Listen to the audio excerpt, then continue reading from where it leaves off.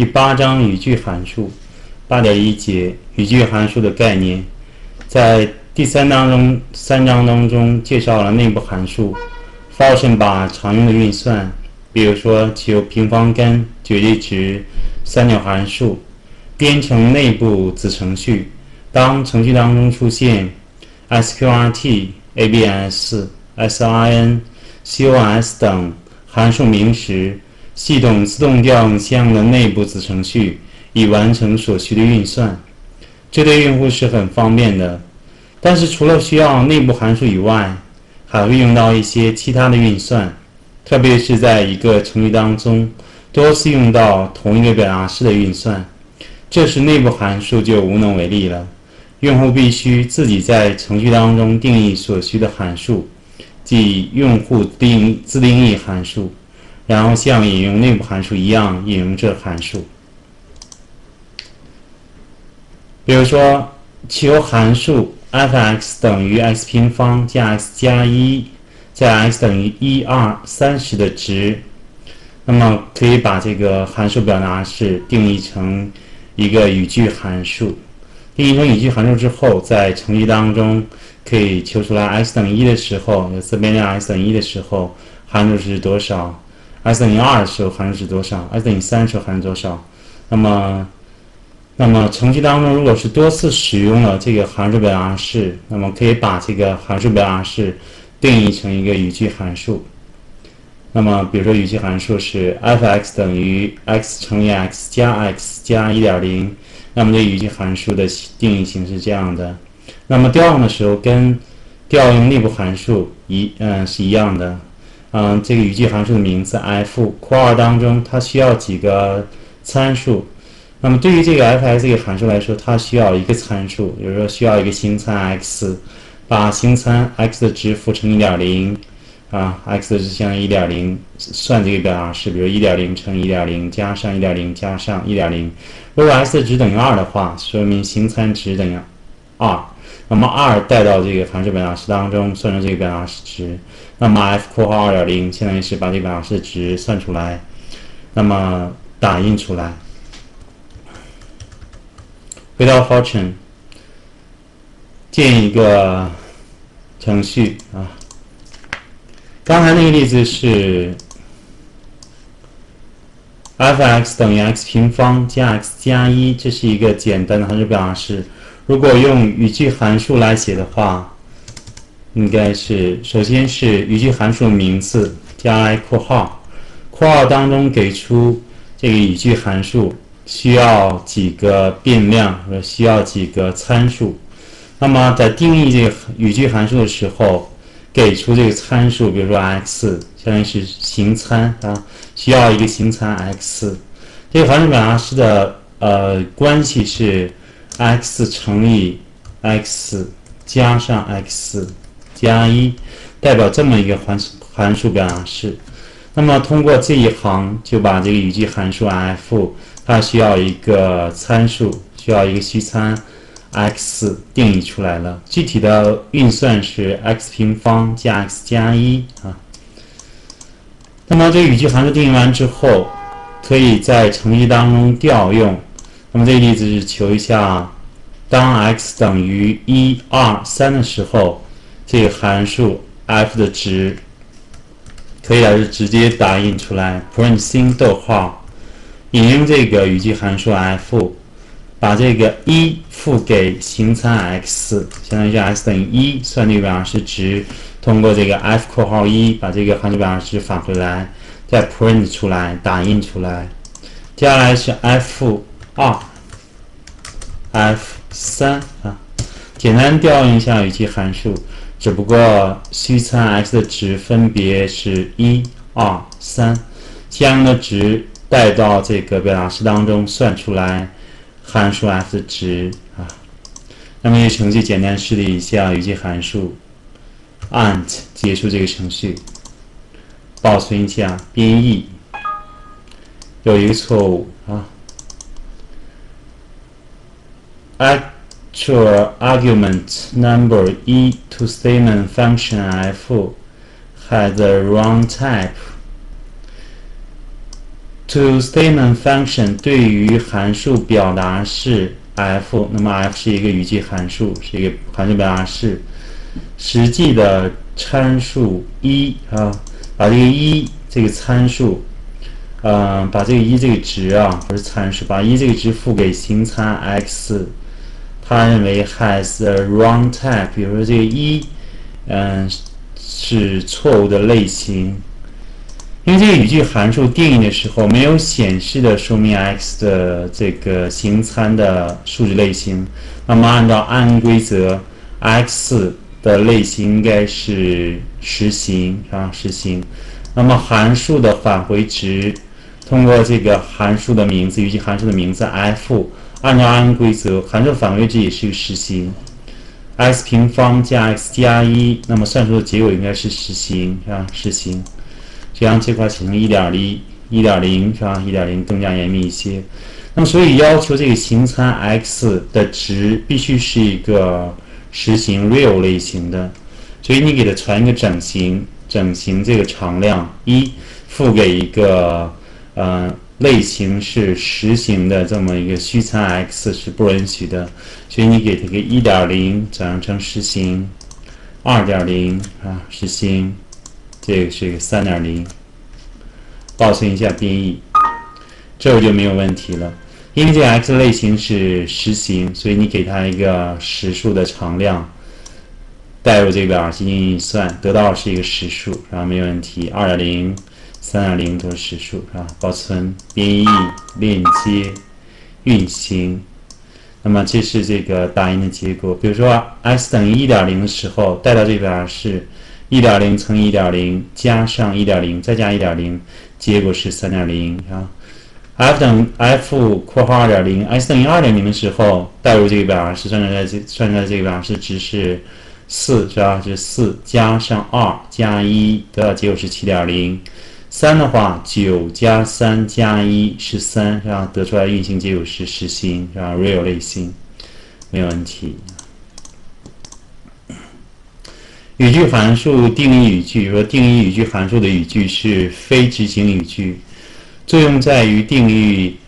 f(x) 语句函数 f(x) 和自变量 x 的函数关系，就函数 f 跟自变量 x 的关系。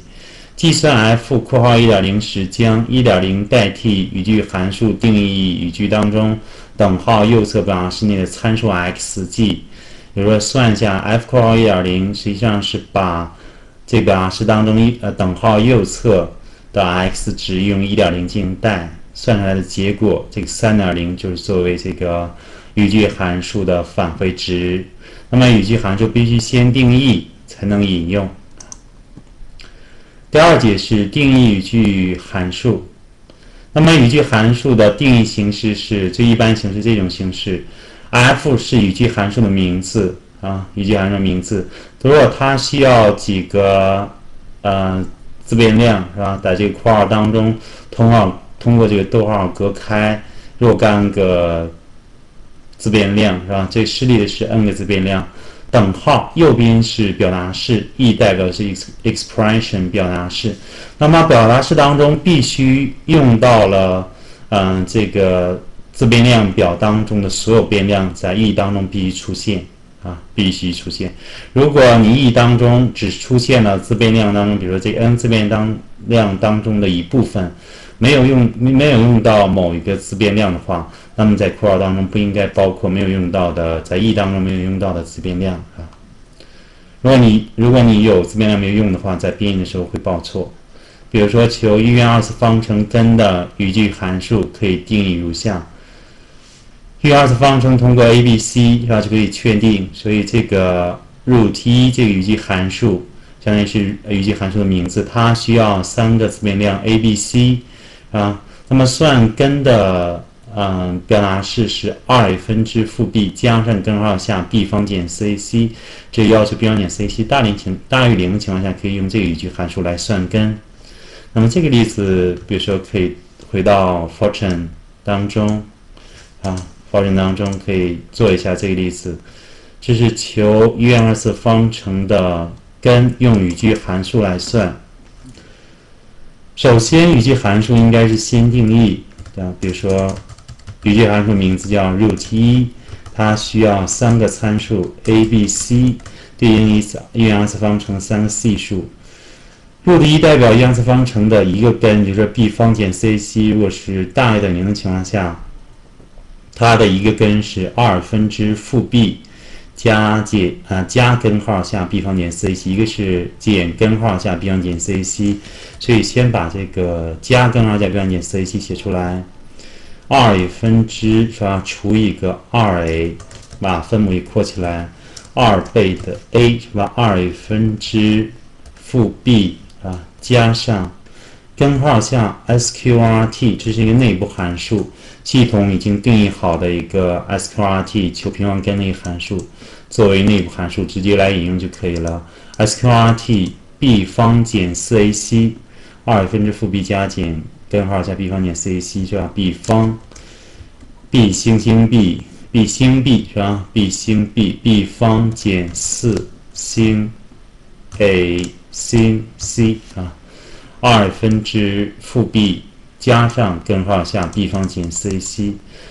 这里没有明显声明 a、b、c 和 root 一的数据类型，按照 an 规则，就是隐含规则，那么 a、b、c 和 root 一的类型都是实心，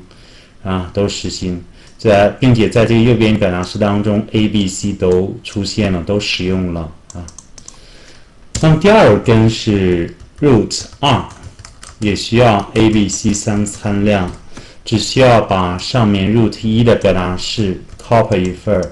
粘过来，把这个加号改成减号，二分之负 b 减去根号下 b 方减 c，c 啊，这是语句函数的定义，应该放在所有可执行语句的前面。接下来声明 integer 声明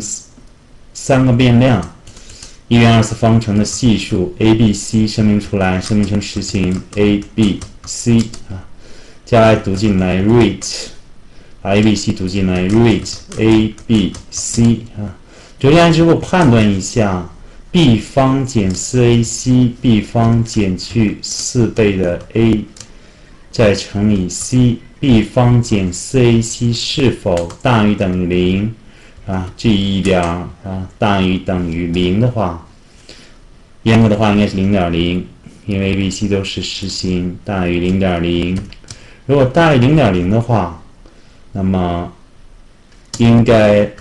b 方减 4ac 大于等于零的话有两个实根，那么可以用这个语句函数 root 一和 root 二。把这个 a、b、c 是吧？a、b、c 实参传实参值传给相应的形参 a、b、c。那么这里很巧合，实参 a、b、c 跟形参 a、b、c 同名了啊，同名了。当然不同名也可以。那么同名情况下，大家应该清楚，这个 real a、b、c 这个是相当于是实参 a、b、c。调用 root 二的时候，把 a、b、c 的值传给它，相当于是把实参 a 的值传，嗯，赋给形参 a 啊，啊，把值赋给 a 啊，把值赋给 a。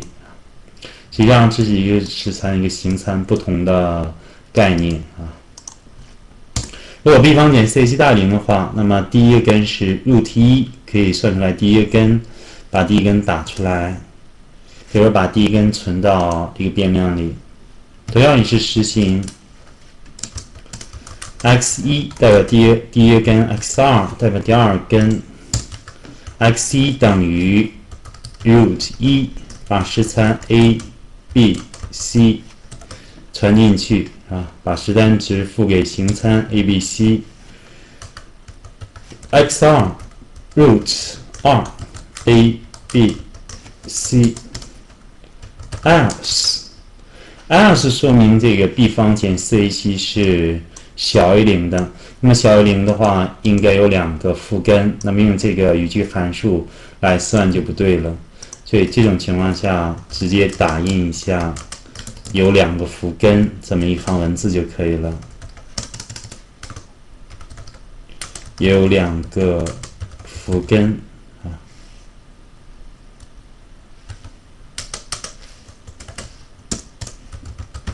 结束这一一语句，and if 最后把这个两根打印出来，print x。这个打印的话，最好是在这里打印，算出来 x 一、x 二之后，打印出来 print sin x 一、x 二。最后给这个程序一个 and，结束这个程序的运行。保存一下编译啊，三个错误。syntax error 语法错误，else without if then，那么 if then else 必须成对出现，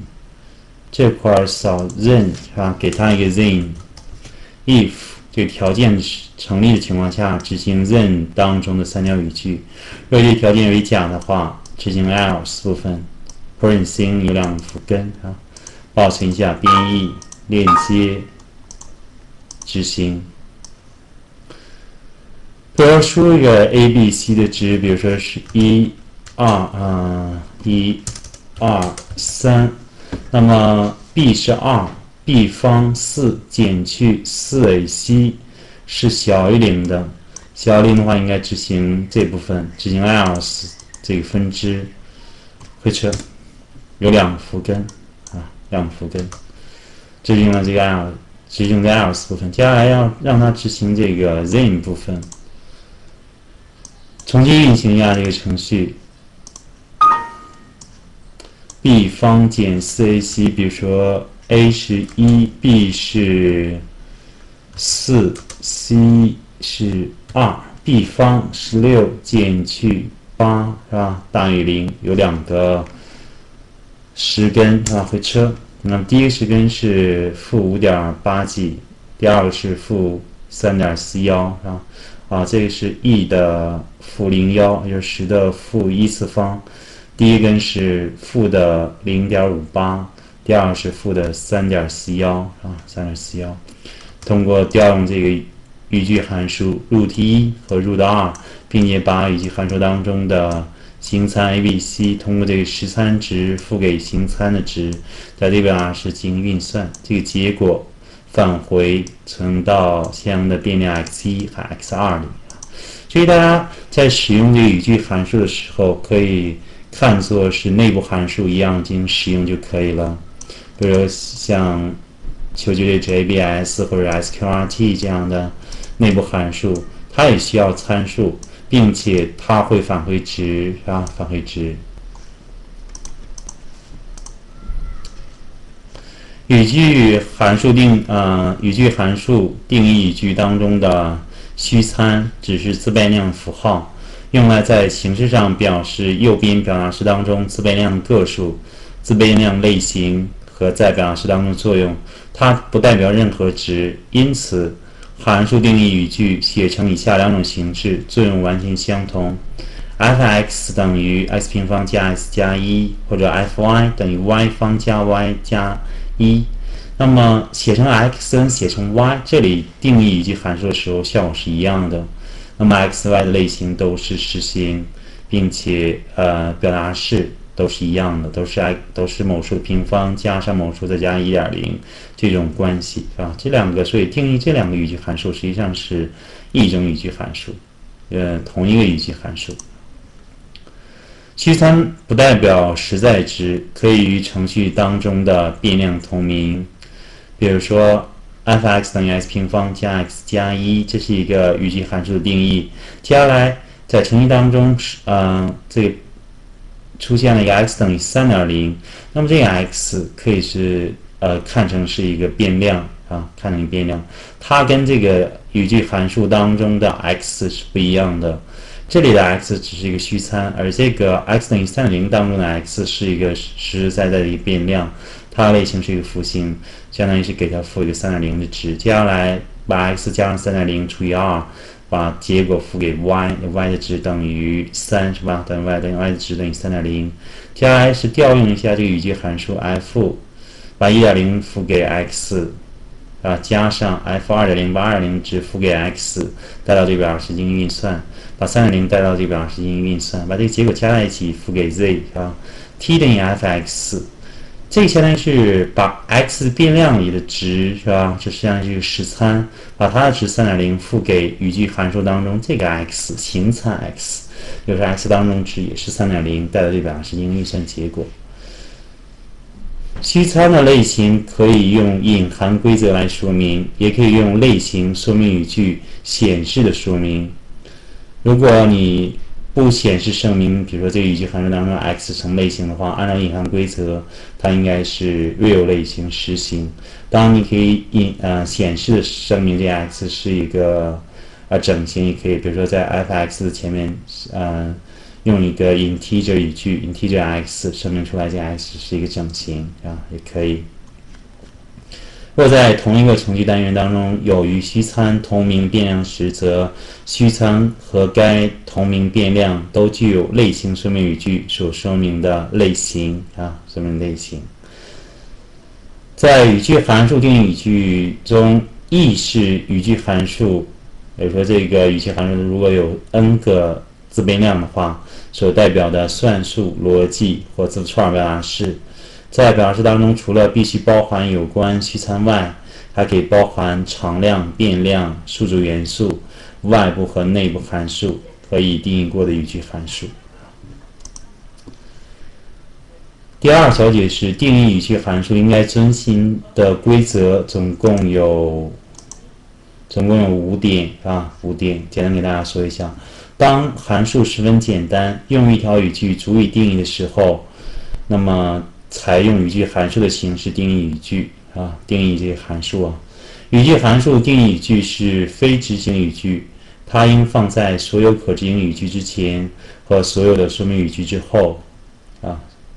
比如说语句函数的位置，第一点说的是语句函数的应用领域。比如说函数的关系十分简单，用一条语句足以表达的时候，用这个语句函数来定义这个函数关系表达式。是非常恰当的。如果这个运算非常复杂，用一条语句算不出来结果，那么用语句函数是无能为力的。语句函数只在其所在的程序单位当中才有意义。换言之，不能引用其他程序单位所定义的语句函数。那么下一章会介绍，嗯，子程序，比如说，嗯，函数过程是吧？属于两种不同的子程序。那么子程序说，呃，是可以看成是一个程序的单位，啊，程序的单位。你在一个函数当中定义的，比如说你在过程当中定义的一个语句函数，在其他过程当中是引用不了的，啊。语句函数也不能作为引用子程序时的实参，也不得在 external 语句当中进行出现。那么子程序和 external 语句会在下一章进行介绍。语句函数定义语句当中的虚参，应是变量名，不能是常量、表达式或数组元素。也就是说，虚参只能是一个变量名。语句函数定义语句当中的表达式，可以包含已定义过的语句函数。有时候语句函数可以嵌套，或者可以是外部函数，或者是内部函数。内部函数指的是，比如说求平方根 sqrt 系统时间定义好的这些函数是一些内部函数。外部函数指的是，呃，下一章介绍那个子程序当中由由用户定义的函数称为外部函数，而由系统定义事先定义好的函数称为内部函数。语句函数通过表达式得到一个函数值，函数名与函数值之间必须和复制规则一致。因此，不能把字符型的函数值赋给非字符型的函数名，不能把逻辑值赋给一个非逻辑类型的函数名。那么，通过函数名，比如说函数名，你要是不显示声明它是什么类型的时候，按照 AND 规则，它是有一定类型的。那么表达式，就是等号右边这个表达式的值必须跟函数名对应的数据类型是一致的。那不一致，你进行复制的时候肯定会出现语法错误。比如说下面的语句函数定义是正确的，sum a b c 啊需要三个参量 a、b、c 三个虚参，它们之间的关系是 a 加 b 加 c，把它们三的和返回给 sum 是吧？sum 代表着 a、b、c 的和。按照隐含规则的话，sum 是一个实行，a、b、c 也是实行，那么三个实行数加在一起的结果仍然是实行，赋给 sum，这是匹配的。第二个例子是 a、b、e、r、a、b、c，啊，按照 n 规则的话，按照隐含规则。按规则 AV 幺二类型跟 A、B、C 类型都是实行。接下来，sum（ 括号 A、B、C） 调用下语句函数 sum，把 A、B、C 传给这个形参，这相当于是，呃，传给形参 A、B、C，算出来结果之后除以个三点零，得到结果仍然是个实行，是吧？仍然是实行，把这个实行赋给一个 A、B、E、R，是吧？函数名是实行的一个类型，这是允许的。Ir 括号 id 有一个虚参 id，有有一个自变量 id 等于 mod，mod 是求余是吧？内部函数求余，id 除以三，它的余数赋给 ir 啊，这个函数名，语句函数名叫 ir，它类型按照 i n 规则的话，它是整形，那么 id 按照 n 规则也是整形。啊，整整数除以三的余数仍然是个整数，赋给 ir 啊是允许的。一个整形常量赋给整形类型的呃语句函数名 ir 是允许的。logical xor x e x r logical 逻辑对吧？xor x e x r 是三个逻辑型的变量。接下来 xor x e x r 那么 x 一的类型是 logical 逻辑，x 二是逻辑。XOR 也是逻辑，那么用这个表达式算出来的结果，比如说逻辑量与或非在一起，最后的结果仍然是一个逻辑量，要么是真，要么是假。大家可以观察一下这个表达式的运算顺序。那么与或非三个运算符的优先级是非是最高的，啊，那么与是次之，优先级最低是或。所以这个啊是要先算的话，应该先算非 x 一，先算这部分，把 x 一去翻，接下来再算把 x 二去翻，切完之后再算这个与部分，接下来再算右边这个与部分，最后是算这个或运算符。啊，把这个左边的结果和右边结果和在一起，把这个结果值赋给 xor，SSIxy 等于。按照 n 规则的话，那么这个 i 是一个整形整形的一个量，是吧？整形的一个虚参，x 啊 x 也是按照 n 规则应该实行，y 实行，si 实行。那么 ai 啊 ai ai 的话加上 x 加 y 是吧？那么 ai 那么前面有定义，应该实际上前面应该给出一个 a 这个语句函数的定义，它它需要的嗯参数类型应该是整形是吧？前面应该事先定义好。按照按规则的话，a 这个代表是一个实行，加上 x 实行，再加 y 实行，得到算出的结果仍然是实行，赋给 ss 是允许的。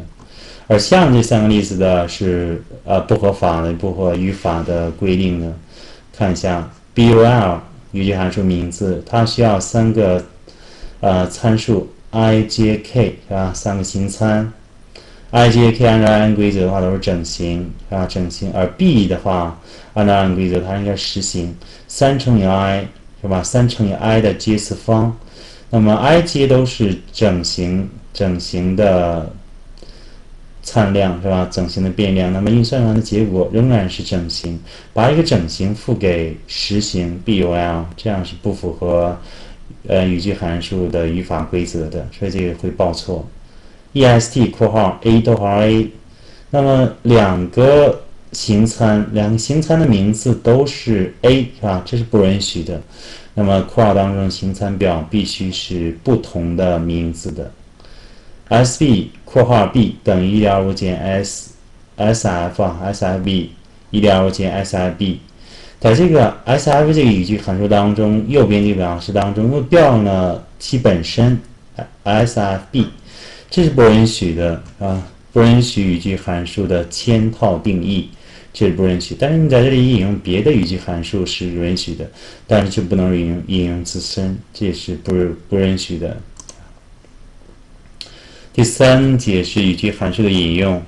语句函数被定义后，可以在同一程序单位中引用它。引用的形式跟引用内部函数是一样的，即用实参，有实参的值代替虚参，是吧？实有实参值给虚参，实参可以是与虚参类型一致的变量、常量或表达式。实参必须有确定值。函数将实参值赋给虚参，也就是虚参值跟实参值是一样的、相等的。给你表达式，给你等号右边那个表达式计算出函数值啊。那么这是相当于是呃语句函数的定义啊，这语句函数定义。number 括号 m n x 它需要三个形参。那么之间关系是 m 乘以 int x，那么 x 是实行，取下整，再乘以 m，再加上 n，是吧？算出来这个表达式的结果类型应该是整形，正好 number 类型整形，这是合法的。那么第二个时候，首先给出来这个语句函数名字，接下来括号。括号当中，如果这个定义的时候，它需要几个形参，给它几个值，是吧？给给它几个实参，把这个实的值赋给，就相当于实参，是吧？实参是一个常量做的实参，把实的值赋给 m，就说 m 值是十，到底表达式运算，n 的值是二十，x 的值是三点五七，是吧？三点五七。那么调用一下这个 number 之后，它运算的结果是什么？要简单的在程序当中实现一下这个语句函数，number m n x m 乘以 int 是内部函数，求下 x 的整数部分取出来啊，乘以 m 再加 n，调用一下这个语句函数 number 把十传过去，二十传过去，三点五七传过去。最后把这个 in 的值打印出来，in 啊，in in。按照隐含规则的话，比如说不显示声明这个 number m n x 它们类型的话，按照按规则，m n 都是整形，x 实心，把 x 的呃 x 的值取整。在调用这个 number 的时候，把三点五七作为实参，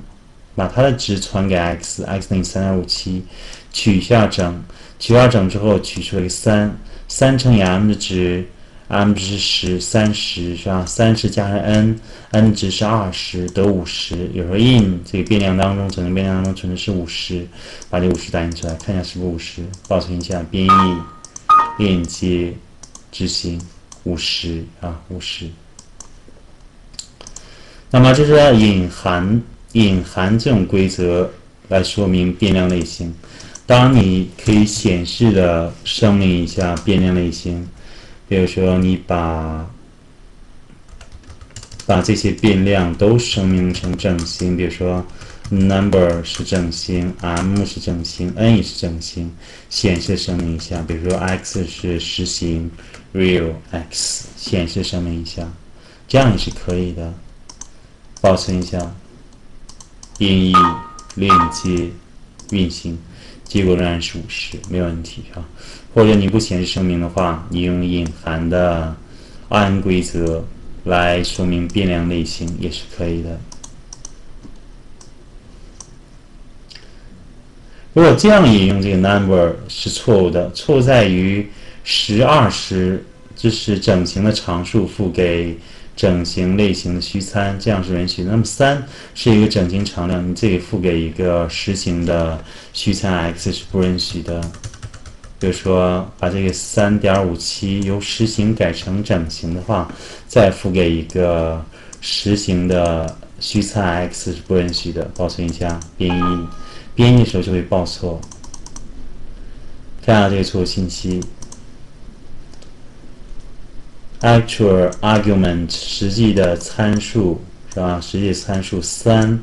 ，to statement function number 对这个语句函数是吧？语句函数 number 而言，这个数字三 has a wrong type，嗯，是错误的类型，因为它的 x 需要需要一个实数，你给它一个整数是不允许的，所以给它一个三点零。啊，保存一下，编译链接，执行啊，执行五十。利用语句函数求圆的面积，啊，求圆的面积是一个固定的一个关系表达式，那么可以定义成一个语句函数。比如说圆的面积，语句函数的名字叫 area 啊，area。那么圆的面积需要一个参数 r 就是可以了。派 r 方是求圆积面积的公式，派 r 方的三点一四一五九二六乘以 r 啊，派 r 方再乘以 r 啊，再乘以 r。按照隐含规则，这个 a 啊，这个虚参类型跟 area 语句函数的名字，它类型都是实实行啊。虽然这个表达式的结构也是实行，赋给 area 是允许的。接下来读进这个半径啊，把这个半径读进来，recin 啊，把这个半径存到，嗯，比如说存到 r 里啊，r 里，调用一下 area，把这个 r 实参 r 的值赋给形参 r 啊，赋给形参 r，那么用这个表达式把这个函数值算出来，赋给 area 是吧？area。那么可以直接打印出来，print sin 逗号 area，把这个函数值打印出来。当你在这个定义语句函数之前显示的声明一下，它的类型也可以，比如说 area 是 real 类型实行，r 也是实行。接下来进行这个语句函数的定义，这样显示的声明 area 语句函数名和自呃虚参 r 类型也是可以的啊。保存一下编译链接执行，比如说瑞星逗号 r r 的值，比如说是一点零，调用一下 area 语句函数，把一点零的值赋给 r，同一表是三点一四一五九二六乘一个一点零，再乘一点零，那么 area 的值是三点一四一五九二六，把这三点一四一五九二六的值打印出来，车，打印出来是三点一四一五九三。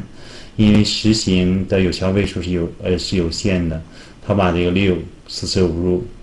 呃舍到四舍五入入到这个前面这个二里是吧？变成三啊，变成三。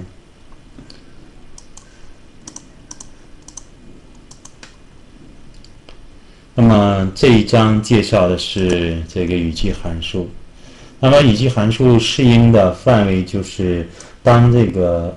函数关系表达式。用一条语句能够实现的情况下，只有在这种情况下用这个语句函数来做，就是把这个常用的这个关系的操作用语句函数来固定下来。比如说，在函数当程序当中，我引用一下 area q r，实际上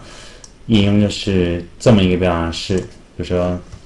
实际上写出来这个实际上相当于是代表这么一个表达式，r r 是吧？如果你程序当中多次出现了这么一个表达式，